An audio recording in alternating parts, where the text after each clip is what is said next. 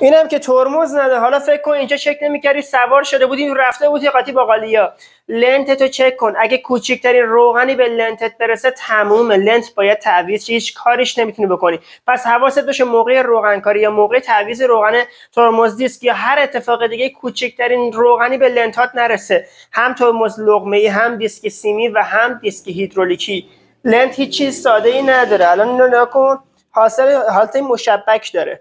این اگه کوچکترین روغنی بهش برسه تمومه. حالا واسه در آوردن تعویض کردنش. همشون یا خار دارن یا یه پیچ آلن خوردن این خار رو از این سمت باز می‌کنی با ضربه درش میاری.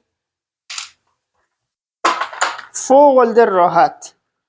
لنت ها در اومد. اصلا نیاز نیست اینجا کالیپر رو در بیاری. حالا این رو ببین چه بلایی سرش آورده این دوست ما.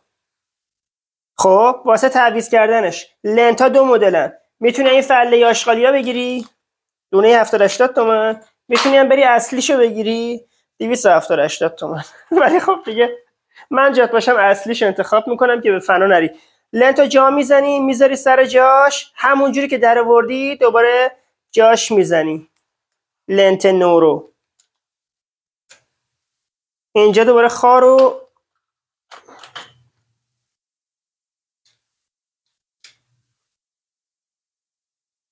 می‌ذاری سر جاش واسه اینکه خار در نیاد یارت نره اون بره لبه رو برگردونی. تموم شد.